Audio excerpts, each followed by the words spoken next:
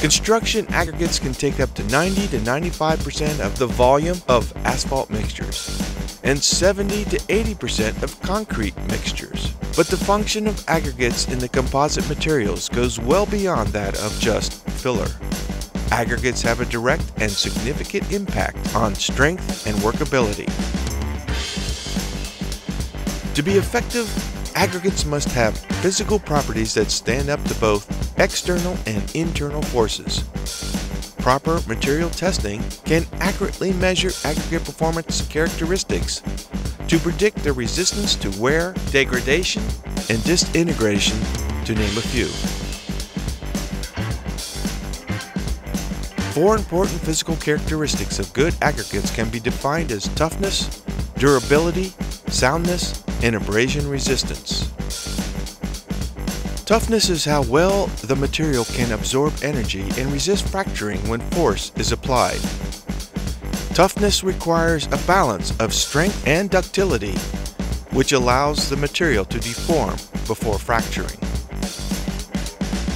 Durability is the resistance to internal forces resulting from freezing and thawing or wetting and drying cycles. Expansive forces generated in voids and fissures can lead to disintegration of aggregate particles.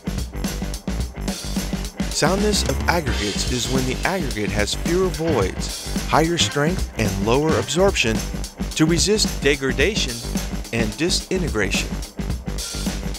Abrasion resistance is a function of aggregate hardness. Good abrasion resistance helps maintain the skid resistance needed for pavement mixtures, just to name one example. Proper testing of these characteristics following ASTM and AASHTO test specifications can aid in the predictability of aggregate performance. The Los Angeles Abrasion Test is a widely used procedure that evaluates the degradation of aggregates by both abrasion and impact forces. Dry, coarse aggregate samples are rotated in a large steel drum with a hardened steel shelf and abrasive charge creating an impact crushing effect. The LA abrasion test is an indicator of aggregate quality and measures degradation of standard gradings of aggregate.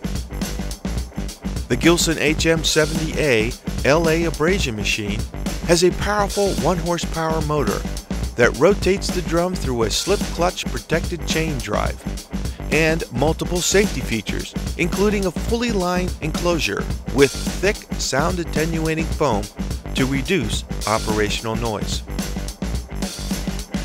The Micro Deval is an abrasion loss test performed on fine or coarse aggregate samples that are partially submerged in water, along with an abrasive charge Samples are placed in jars that are rotated for prescribed time and speed. The sample and charge are considerably smaller than those used in the LA abrasion test method and are not subject to significant impact forces.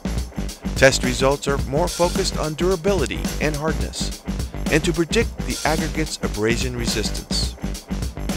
The Gilson MD2000 Micro Deval apparatus has a rugged 3 quarter horsepower electric motor that rotates the jars through a gear, transmission, and chain drive, and has a state of the art electronic controller to precisely track test operations.